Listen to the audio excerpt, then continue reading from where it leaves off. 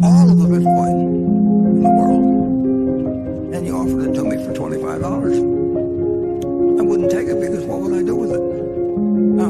I have to sell it back to you one way or another. I mean, maybe I'd be the same people,